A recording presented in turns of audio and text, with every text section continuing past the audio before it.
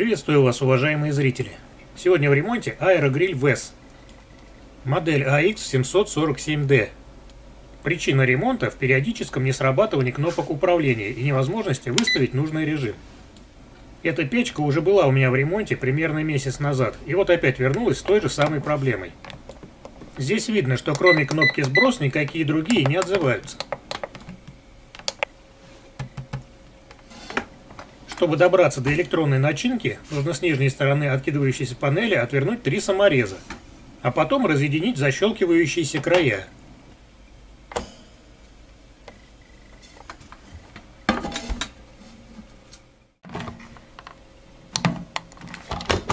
При первом попадании в ремонт жалобы были лишь на то, что некоторые кнопки иногда не срабатывают, поэтому в тот раз я заменил все кнопки на новые – и действительно, в прошлый раз я лично наблюдал лишь отдельные нечеткие срабатывания. Поскольку в этот раз управление полностью не работало, а в качестве кнопок я был уже уверен, то начал искать некую блокировку. Но на механизме откидывания никаких контактов или герконов с магнитами я не обнаружил.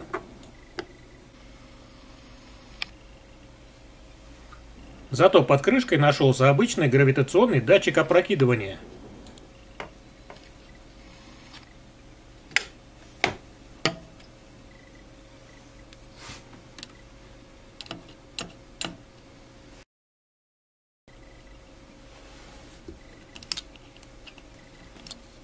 Судя по звуку, это устройство обычное механическое, в котором грузик при различных положениях замыкает либо размыкает контакты.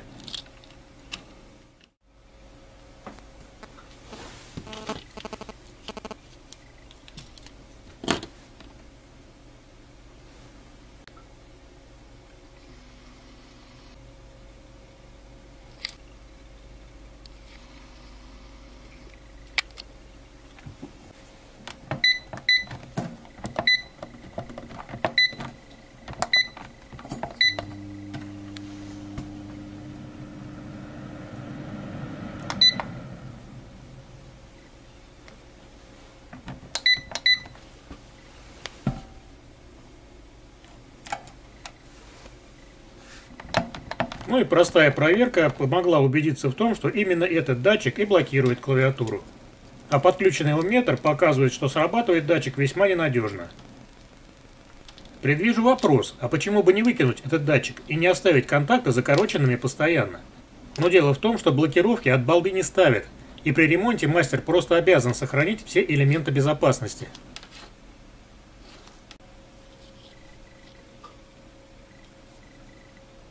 Конструкция разборная, значит можно и нужно заглянуть внутрь.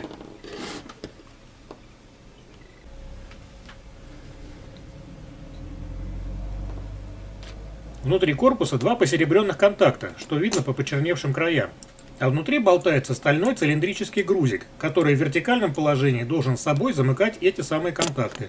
Визуально видно, что на неподвижных контактах посеребрение в рабочих местах не повреждено и не подвергалось каким-либо механическим воздействиям. На стальной грузик для лучшего контакта установлено медное колечко, которое тоже когда-то было с посеребрением. Но оказалось, что контакт на грузе кто-то когда-то пытался зачистить, и посеребрение примерно на половине поверхности местами снято прямо до меди.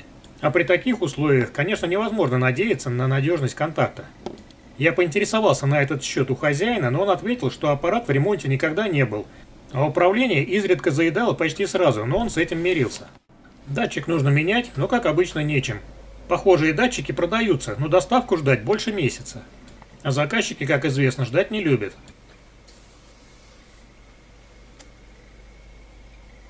У меня есть датчики опрокидывания от масляных нагревателей, но они просто не подходят туда по габаритам. А еще у меня нашлась посеребренная оплетка от радиокабеля. И с ее помощью я увидел возможность восстановить поврежденный контакт.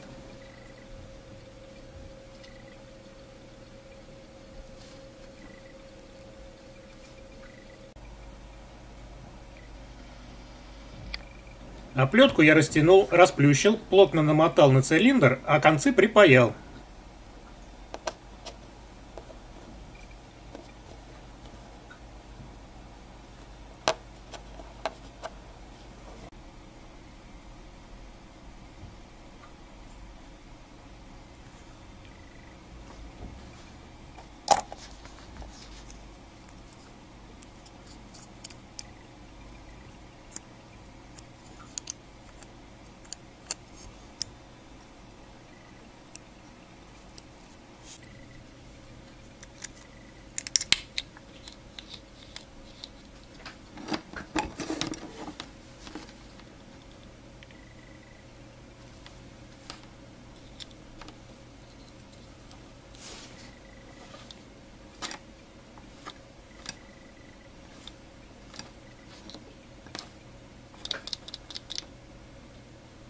Теперь тестер показывает, что датчик работает куда более надежно.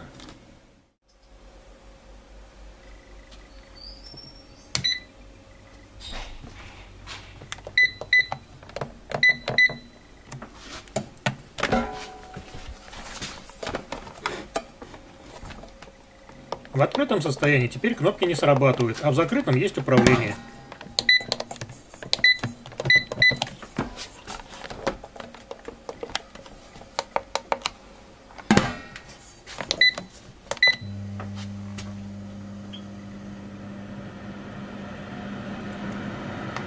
Ну вот и все, техника жжет. А я видео заканчиваю, всем хорошего настроения и надеюсь, что вы найдете в ролике что-либо полезное. До свидания.